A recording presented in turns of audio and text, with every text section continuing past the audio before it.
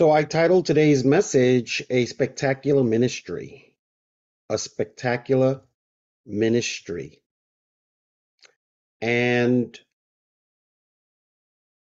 I want to talk, I mean, this will probably be, you know, a, a two-parter, but just a little bit um, with the time that we have left, talk a little bit about how do we how do we go about achieving a spectacular ministry? And you know, I I believe in in my heart of hearts that Action in Christ International is what I would consider a spectacular ministry. And it's interesting because if you use the word a spectacular ministry, you would think that it means that it's because you have a lot of people in the ministry. Uh, that is not true, and we're going to talk about that and see what Paul has to say say about it. And we're going to be looking at Second Corinthians chapter 5. 2 Corinthians chapter 5, and we're going to be looking at verses 11 uh, through 21. We'll do a couple of verses today. But I also want you to think of a ministry as as individual ministries. You know, how you can have possess a spectacular ministry of your own in the way you live your life in the way you make God tangible to others, in in in in the way that you uh, uh, live out the gospel. Um, and and touch the lives that you encounter on a daily basis. So don't forget about that ministry. Don't forget about that ministry. And that includes your families, by the way. When we talk about touching the lives of others, we're, we're including your families. Um, when we look at um, verse 11, 2 Corinthians 5, verse 11, it says, Paul says, Because we understand, listen to this carefully, these words, because we understand our fearful responsibility to the Lord, we work hard to persuade others. Now, many people, as you know, have taken words like this and they've run with it. And all of a sudden, they feel that they have to, it's their job to convert everyone to Christianity. Not so. Not so. They think that being scared of God and that somehow God is going to strike you down if you don't do XYZ, that that is part of life. Not so. Not so. What Paul is trying to communicate, and what we've always communicated at Action in Christ International, and what I personally communicate, is that having appreciation for God, respecting God in the form of appreciating God, the creator of the universe and everything within it. That we as Christians appreciate Christ Jesus for bringing the message, clarifying the message, uh, making it um, I don't like to use the word easier to follow, but definitely, um, I just again I'm going to use the word uh, making it making it clear, making the message, making the uh, the uh, the word of God uh, clear to us I know that for me through Christ Jesus, it is clear what I what I am supposed to do or supposed to be doing, what I should be working on is what I'm trying to say. Because we understand our fearful responsibility to the Lord. There is an expectation of us according to scripture. For us Christians, there is an expectation of us because of Christ Jesus and through Christ Jesus. And it continues, it says, God knows we are sincere. I hope you know this too. Well, sincerity is really important. It's one of the major things, aside from uh, uh, decency nowadays in, in the world that we're living in today. Uh, sincerity is one of the things that's really lack, you know, lacking in, in, in, in, in our society. Decency, sincerity. And I think that in building a ministry or being part of a ministry, sincerity is very important. Are you a sincere person? Are you doing things with some uh, dark ulterior motive? Do you have some sort of hidden agenda? Or are you a part of a ministry and are you working on your own personal ministry uh, because of your appreciation and love for God? Because you are interested in using your mind, your heart, your body, your circumstances to make God tangible to everyone else around you. See where we're getting with this? Let's talk about ministry for real. Let's not look at ministry as to what we see on television because they're a mess. They are a mess. There are so many hidden agendas and so many ulterior motives and so many look at me, look at me, look at how I do things. You know, come to our church because that's where you're going to find salvation and da da da da da. Guys, it's a mess. Can we get back to what real ministry is about? Can we get back to what the Master taught us in his very short ministry here on earth? Because that's not what we're seeing on social media. Is it? It's not what we're seeing. And we're not seeing Jesus on television, on YouTube. And I'm not talking about in general. I'm talking about these specific, these, these incredible, incredible, gigantic ministries. It's not what we're seeing. But they're doing it in the name of God. They are hiding behind the name of Jesus.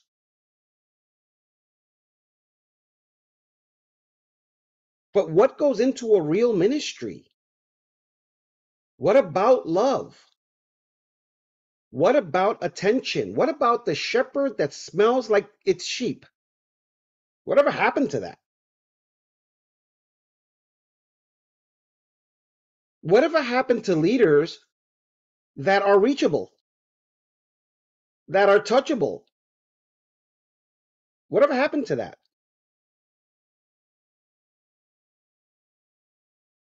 We've lost sincerity in ministry. We are lacking in terms of our fearful responsibility to the Lord.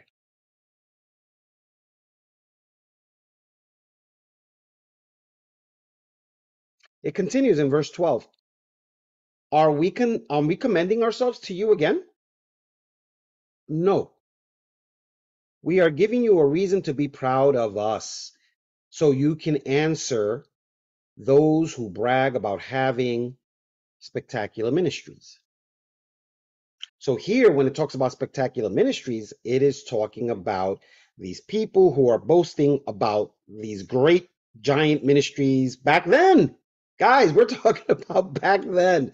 Don't do not get caught up in the hype thinking that this is something that happens now. This was happening back then. But I don't want to throw the word the words spectacular ministry away. I want to show you what a real spectacular ministry looks like.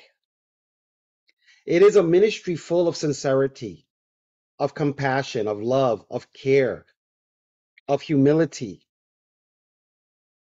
of wanting to be there for one another, of building ourselves up so that we can make God tangible through our actions. Less words, more action to those around us. What makes us different? And can everyone see the difference? Can, can the people around you see what God has done for you internally? Are you bragging for the sake of bragging, or are you trying to live out the gospel so that you are setting the example for others through your actions? Do actions speak louder than words? Absolutely. Absolutely. Absolutely. Paul says in verse 13, he starts it off by saying, If it seems we are crazy, what was so crazy about Paul and his and his crew? Nothing. The fact that they were trying to live out the gospel. See, what happens is people will take this line, right? I've seen it. Oh, I've seen it. I've seen it. They will take a line like, oh, they think I'm crazy, but then they act crazy. We used to have people, even in our church back in the days, 40 something years ago, they would just act crazy, period. And they were like, well, if people don't like that, I like crazy, you know, they're like real over, overly fundamental, overly fanatic, over spiritualizing everything. That's not what this is talking about. That's not what this is about.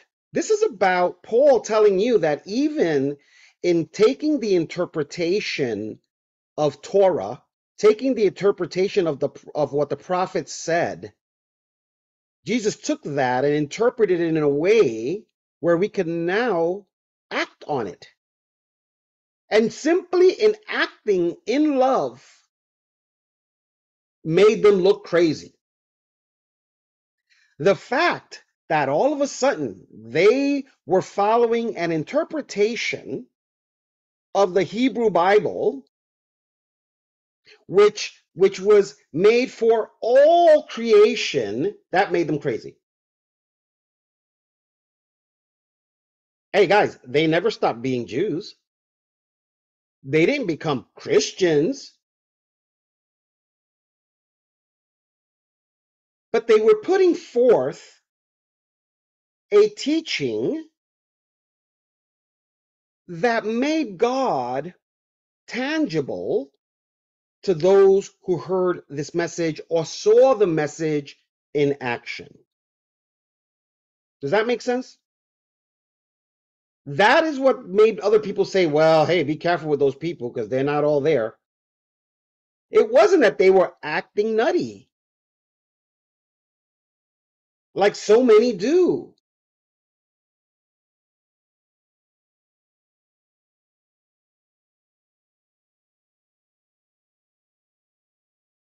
He continues, if it seems that we are crazy, it is to bring glory to God.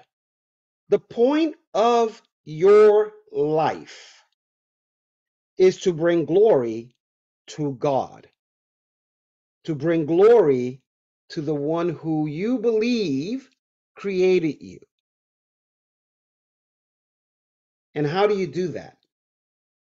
Well, Uh, the man of God, Jesus of Nazareth, laid it out for you. Put together a beautiful blueprint as to how you bring honor to God through how you live your life, through how you engage your own personal ministry, spectacular ministry, to how you are part of other ministries, other spectacular ministries.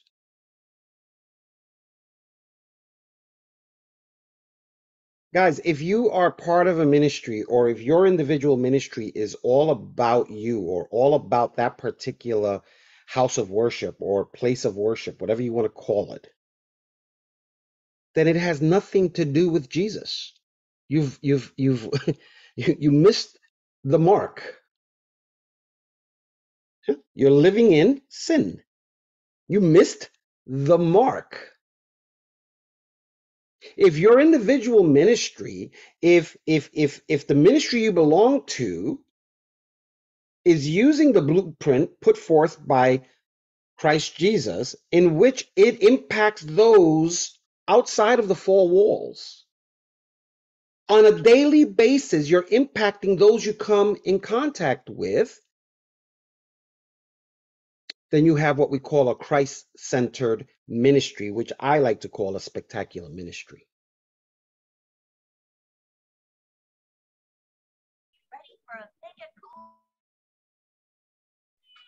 It says, it says in verse 14, it says, either way, Christ, Christ's love controls us. Since we believe that Christ died for all, I know it's funny because you know I, I say these things and I still have people out there that say, "Oh, he just made that up." like, it just tells me how much people actually study scripture. Like they make they think that I'm making stuff up when it's in scripture. He died for all. He didn't die for a particular group of people. He died for all.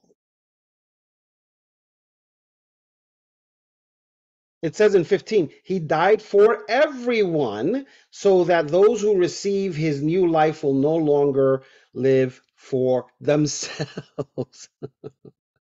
I'm sorry that I laugh. I laugh because you know this is kind of like really basic stuff that that you look at all these uh, so-called gigantic ministries and they're missing the mark. It's not just for those that that give you money. it's not just for those who attend your place of worship. It's not for those who just pray the way you pray or or speak in tongues the way you speak in tongues. And for some reason, everybody uses the same tongues. It, it, it's for everybody. It's for God's creation because God loves his creation. He loves all of it. I just happen to have found my way through the teachings of one man of God, not me, not those other, the true man of God, Christ Jesus. That is the message that worked for me. What message works for you?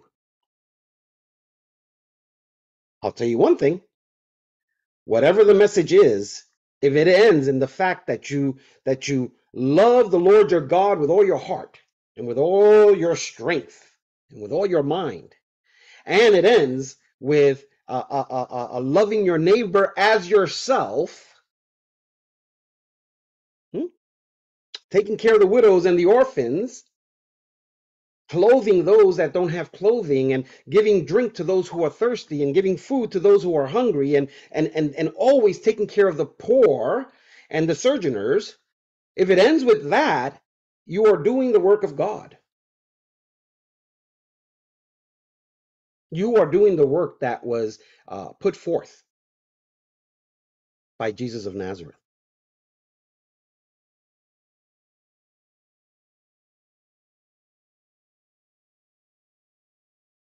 If you are still only living for yourself as opposed to making you part of the universe, making yourself part of your community, making yourself part of your families. It says here, no longer living for yourself, then you're on the right track. You are a spectacular ministry. You have the potential to be part of a spectacular ministry, not just Action in Christ. There are a number of spectacular ministries out there. And then there are a lot of not so spectacular ministries out there.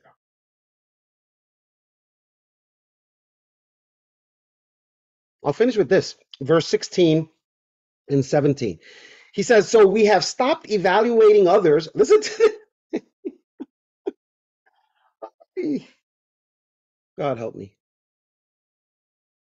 So we have stopped evaluating others from a human point of view.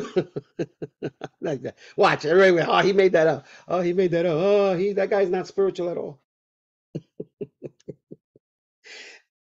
Guys, just stick to the can you stick to the script, man? Just stick to the script. Stop trying to make things up. Stop trying to take it to some other level because you're somehow the man of God or you're the woman of God or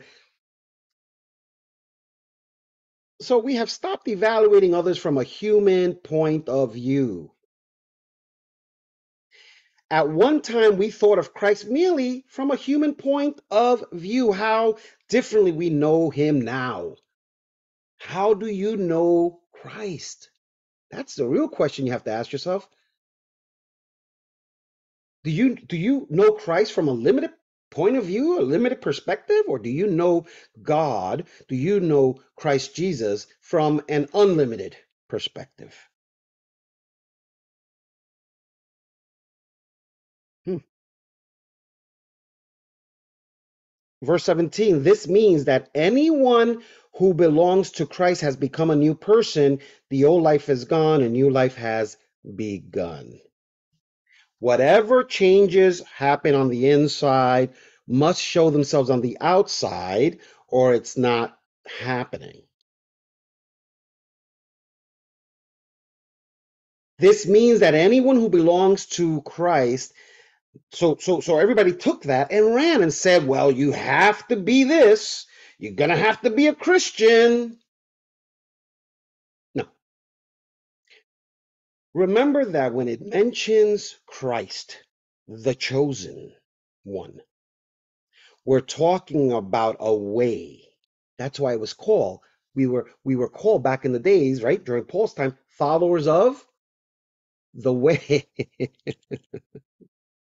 followers of the way. If the interpretation, if you are following the interpretation or the blueprint left by the man of God, Jesus of Nazareth, right? Because how many people are crying out, Jesus Christ, Jesus Christ, Jesus Christ, and they're so far from the message of Jesus Christ? Why? Why would scripture says? Why would scripture say now let, let, let, let, let's take it to the basics. All right, I'll finish with this. We we Christians believe that Jesus is what? Lord. Jesus is Lord. Yes, no. Jesus is Lord. But the Bible says not everyone who says, Lord, Lord, will enter the kingdom of heaven. Wow. Not everyone who says, Jesus, Jesus, will enter the kingdom of heaven. And that's what we're seeing today. because it's not about the name. It is more, there is more to a name. I tried to tell you guys, but most of you think, whoa, he's lost it. Because you, because if it does, if the name does not encompass the the message, the teachings, the way, then it's just the name. It's just Tito from 141st Street. It's just Jesus from up up the street. It's not Jesus, the man of God, Jesus, the chosen one from Nazareth.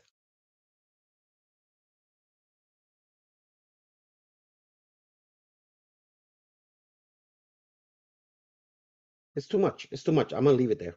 It's too much. It's too much. You guys got that though, the whole thing like the like this. It's too much.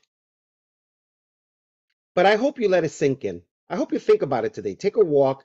Be careful. It's gonna it's gonna be but take a walk and, and, and let it sink in before you just before you just put it in the garbage. Let these words sink in. Go back to Second Corinthians. Go back to the Sermon on the Mount. Go back to the longest conversation that Jesus ever had with the woman by the well. Go back to the shortest conversation, which is Jesus with the centurion. And tell me what you think. Tell me what you think. Are you up for a spectacular ministry? Amen. I hope I hope this helps. Let us pray. Our Father who art in heaven, hallowed be thy name. Thy kingdom come, thy will be done on earth as it is in heaven. Give us this day our daily bread and forgive us our trespasses as we forgive those who trespass against us. Lead us not into temptation, but deliver us from evil. For thine is the kingdom and the power and the glory forever and ever. Amen. This message, as well as those other messages, can be found on our YouTube channel, Rev. Dr. Marcos Miranda. We can be reached at actioninChrist at gmail.com. And uh, for more information or to donate, you can go to actioninChrist.com. With that said, may God bless you. May God keep you. Please go ahead and show each other the sign of peace.